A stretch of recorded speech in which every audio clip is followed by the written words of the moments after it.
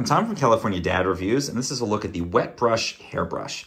And let's just start off by saying, you know, this is a hairbrush, so there's an upper bound to how excited we can get about it. But, you know, uh, it is a very good hairbrush as hairbrushes go.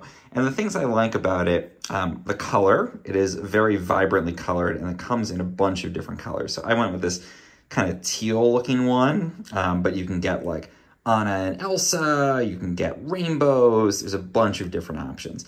And I like that you've got a nice plastic handle, but then these little tippy things here, um, forgive me, I have no idea what the proper terminology is, so I'm just gonna go with what I'm going with. These little tippy things are um, also matching the same color as the bottom part of the hairbrush. And they've got these little blunted tips on here that are very comfortable as you're brushing. And again, I like that they carry the color theme through. And then it's got this sort of um, rubber part so that as you push, these sort of meld to your scalp. And again, that makes it comfortable to use. And I use this personally. I also use it with my kids. It's nice because it's good for detangling if they get like little mats and things, if they haven't had a haircut in a bit. Um, good to be able to uh, detangle with it. It's pretty gentle.